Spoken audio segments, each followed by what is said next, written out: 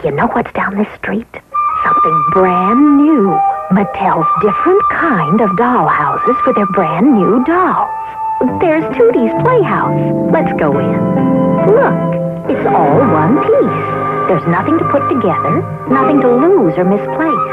And it's a take it wherever you go house.